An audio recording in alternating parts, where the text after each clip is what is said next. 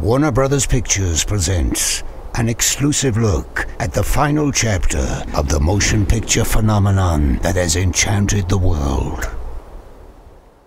I count myself incredibly fortunate um, to have been a part of Harry Potter.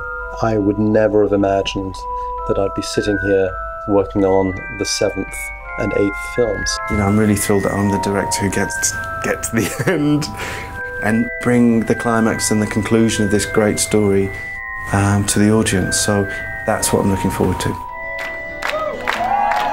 It's thrilling and it's exciting because for all the scale and all the magic, what it's really about are these characters. And I think that the characters are fantastic.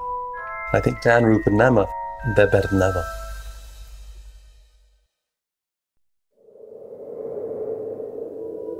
What do you know about the Deathly Hallows?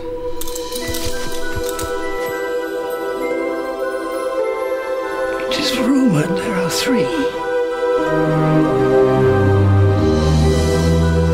To possess them all is to make oneself immortal.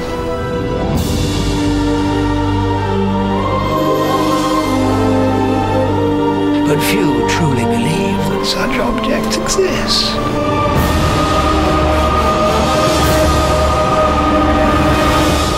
If it's true, you really don't stand a chance.